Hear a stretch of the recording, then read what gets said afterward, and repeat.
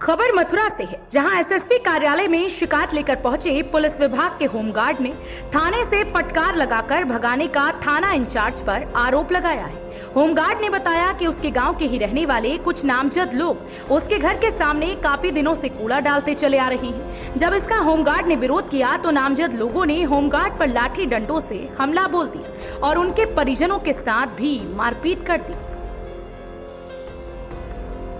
Police साहब का आगे पैसा ले चुकी। उन लोगों से तीन हज़ार रुपये मुझसे भी ले लिए। मेरी मार पीट गई न डॉक्टरी करवाई और उन लोगों के नाम निकलवा दिए। क्या चाहते हो अब ये बताओ? ये चाहते हैं न्याय चाहते हैं हम। किसके द्वारा मारपीट की गई?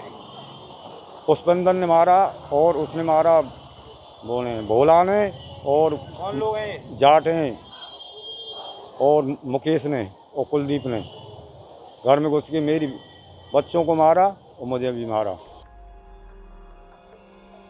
होमगार्ड बलवीर सिंह का ये भी कहना है कि उसने तीन हज़ार रूपए भी ले लिए और दूसरे पक्ष से भी पैसे ले लिए, जिसके चलते वे कोई भी कार्यवाही नहीं कर रहे। इस दौरान पीड़ित होमगार्ड न्याय के लिए एसएसपी कार्यालय पहुँचा और वहाँ उसने एक प्रार्थना पत्र एसएसपी डॉक्टर गौरव ग्रोवर को सौंपकर न्याय की गुहार लगाई है।